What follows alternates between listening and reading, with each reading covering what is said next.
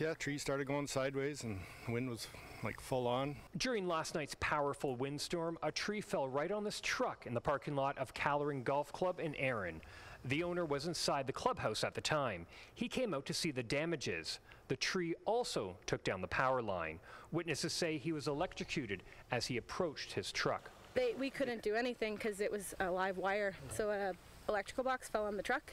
The family who lives across the street from the golf course says it was a quick and intense storm. It's like 10 minutes tops, maybe even five, you know, like it just, uh, like it, yeah, wasn't very long. Crazy, we're just sitting there and then all of a sudden a huge wind and rainstorm happened and then all the trees were like going sideways almost and then things started breaking. There were around 30 people inside the clubhouse at the time, including a birthday party. I'm told that his friends tried to come out and help him, but they saw it was a dangerous situation.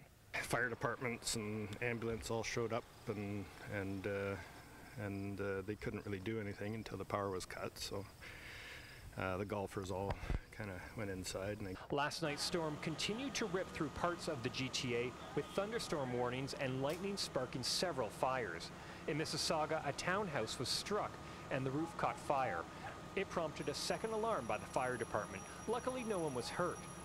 A severe thunderstorm warning was also in place in Toronto, with the city experiencing up to 90 kilometer an hour winds and heavy rainfall. it was a wild night. And police say this was the only fatality and there were no other injuries. In Erin, Sean Cowan, CHCH News.